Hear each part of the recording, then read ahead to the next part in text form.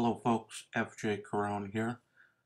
If you're interested in collecting military surplus weapons, whether you're a collector, a shooter, or into gunsmithing, why don't you head on over to Marshal Zhukov's channel and check him out.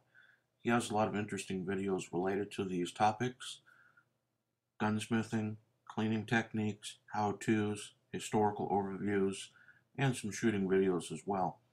And if you want to see more on this topic, go ahead and check out my channel as well. Hello, this is Marshal Zhukov, and here we are together again on YouTube. So, finally got the old Arty Luger in. It's a 1918 DWM.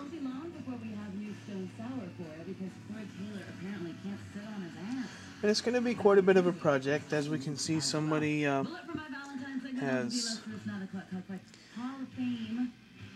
already got a start on polishing this or removing whatever finish was on it anyways. Maybe there was rust on it, but uh,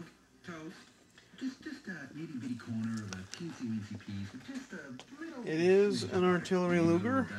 You don't order a tiny little breakfast, do you? Would you like home fries, sir?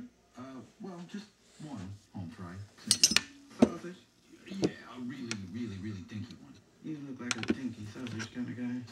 Why settle for a small fast food breakfast when you can have a big country breakfast burrito at Carl's Jr.?